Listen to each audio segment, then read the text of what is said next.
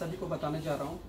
Samsung TV में एक 2020 में एक न्यू फीचर लॉन्च किया गया है, जिसको बोलते हैं ऑटोमेट टीवी इस फीचर्स का एडवांटेज ये है कि आप विद इन सिंगल क्लिक आप क्या कर सकते हैं? आप अपने फ़ोन से हॉटस्पॉट टीवी में कनेक्ट कर सकते हैं, या फिर साउंड मिररिंग आप टीवी में कर सकते हैं, या फिर अपने फ़ोन का फ़ोटोज़ या वीडियोज़ का बैकअप आप टीवी में ले सकते हैं विद इन सिंगल क्लिक तो कैसा हम इसको हम यूज़ करेंगे?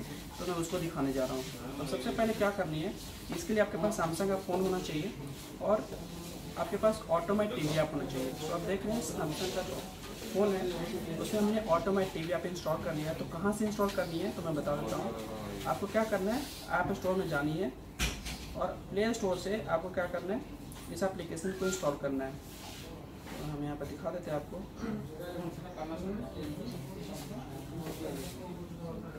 यहाँ पे क्या करनी है ऑटो माई टीवी ऐप जो देख रही है, इसको आपको क्या करनी है इंस्टॉल कर लेनी है, इसको आपको इंस्टॉल कर लेनी है। तो देख सकते हैं, मैं पहले से इंस्टॉल कर, किया हुआ हूँ। तो इसे हम कर लेते हैं ओपन। तो अभी मैं दिखाता हूँ यहाँ पे क्या क्या डेटा बैकअप आप देख पा रहे हैं। दूसरा जो है हॉटस्पॉट और तीसरा जो है एक एक करके दिखाऊँगा।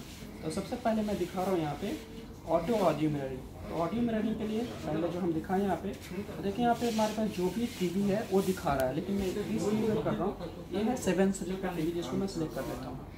इसे आप क्या करें एड न्यू डिवाइस पे करें।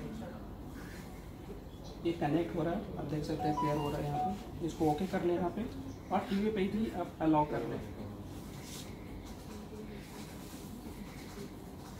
तो जैसा कि देख सकते हैं आप, आपका जो फ़ोन है, वो टीवी के साथ पेड हो चुका है। अभी आप फ़ोन में, आप कहीं पे भी कोई भी गाना प्ले करेंगे, आप किसी भी मीडियम से गाना प्ले करेंगे या आपका डायरेक्ट टी प्ले होगा तो मैं सपोज़ यूट्यूब में मैं आपको प्ले करता हूँ कोई गाना।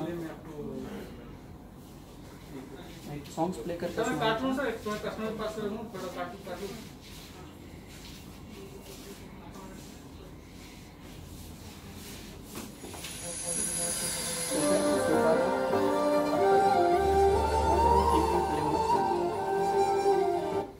इस तरीके से आप क्या कर सकते हैं? आप अपने फ़ोन पर फ़ोन से विद इन सिंगल क्लिक आप क्या कर सकते हैं, आप अपने गाने को प्ले कर सकते हैं टीवी में आपको बार बार कनेक्ट करना नहीं पड़ेगा। तो ये था पहला फीचर होता है ऑटो ऑडियो रनिंग अभी मैं आपको दिखाने जा रहा हूँ दूसरा फीचर्स सो सेकंड फीचर जो है, वो है यहाँ पे ऑटो हॉटस्पॉट तो हॉटस्पॉट में आप जो देख सकते हैं यहाँ पे ऑटो हॉटस्पॉट पे आप जाएँ और अपना मॉडल सेलेक्ट कर लें। तो मैं मॉडल सेलेक्ट करता हूँ सेवन सीरीज़ का। ऐड ऑटो हॉट कनेक्शन यहाँ जैसे देख पा रहे हैं यहाँ पे आपका क्या हो गया? ब्लूटूथ जो है वो डिस्कनेक्ट हो गया और हॉटस्पॉट क्या हो रहा है वो कनेक्ट हो। रहा है। देख सकते हैं प्राइस सेम था ना हाँ ठीक है तो देख सकते हैं। यहाँ पे आपका जो ब्लूटूथ था वो डिस्कनेक्ट हो गया और हॉटस्पॉट ऑटोमेटिक आपका क्या हो गया टीवी में आपका कनेक्ट हो चुका है तो मैं आपको दिखा देता हूँ कि मेरा हॉटस्पॉट कनेक्ट हुआ है कि नहीं मैं दिखा दे रहा हूँ आपको जस्ट वेट करें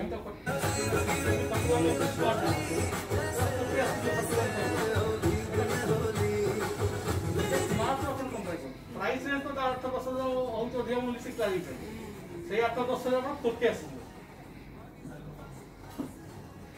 तो जैसा देख पा रहे हैं, यहाँ पे वाईफाई मेरा कनेक्ट हो गया।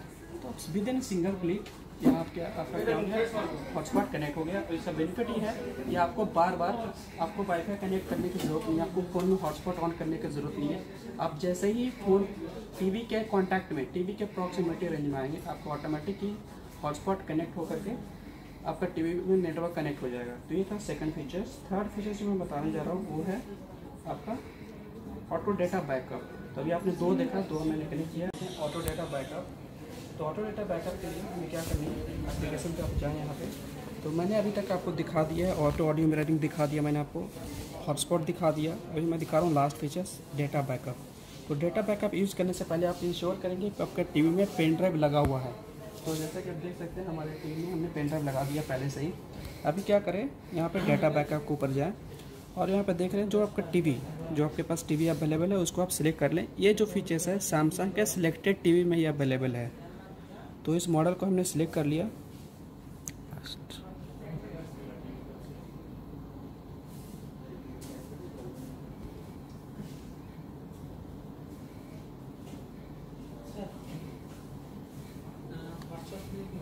मॉडल यहाँ पे सिलेक्ट कर लिया। अभी देख सकते हैं इसको ओके कर लिया आप तो यहाँ पे आप देख रहे हैं, आपको ऊपर में जो दिखा रहा है पेन ड्राइव दिखा रहा है। जो पेन ड्राइव का स्टोरेज कितना वैकेंट है, कितना यूज्ड है, वो दिखा रहा है आपको। डिवाइस बैकअप फोल्डर नेम है। तो डिवाइस का जो फोल्डर नेम आप क्रिएट करना चाहते हैं तो मैं कर लेता हूँ फोल्डर नेम बैकअप रख लेता हूँ। 2020 ये फोल्डर नेम आप क्रिएट कर सकते हैं। ये हमने डिवाइस बैकअप फोल्डर अभी सिलेक्ट करनी है। कौन सा फोल्डर का बैकअप लेना चाहते हो? तो आपके पास बहुत सारे यहाँ पे चाहे तो आप सारे सिलेक्ट कर सकते हैं। मैं यहाँ पे एक स्पेसिफिक एक फोल्डर का दिखा रहा हूँ लेकर के तो मैंने बैकअप सिलेक्ट कर लिया, इसको डन कर लिया आप। हमने डन कर लिया। एक पासवर्ड आप प्रोटेक्टेड रखना चाहते हो तो पासवर्ड पुट करें।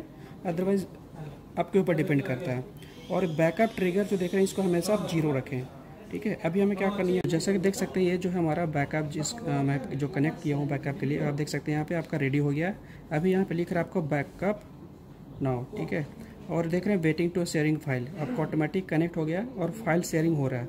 अगर देखना चाहते हैं तो यहाँ पे देखें, ये जो फ़ाइल है, वो शेयर हो रहा है। आप देख सकते हैं। फ़ाइल जा रहा है। और वहाँ पे टीवी में देखें, आपका फ़ाइल वहाँ पे जो हमने बैकअप लिया, वो आपका टीवी में आपका आ चुका है। तो आप देख सकते हैं फ़ोटोज़ जो मैंने बैकअप लिया हुआ तो इस तरीके से आप फ़ोटोज़ वीडियोज़ आप जो भी है बैकअप ले सकते हैं। तो ये तीन फीचर्स था, जो मैंने अभी आपको बताया यहाँ पे। तो पहला, जो ऑटोमेटिक आपका बेनिफिट ये आप ऑटोमेटिक डेटा बैकअप ले सकते हो ऑडियो मिररिंग कर सकते हैं हॉटस्पॉट कनेक्ट कर सकते हो। Thank you so much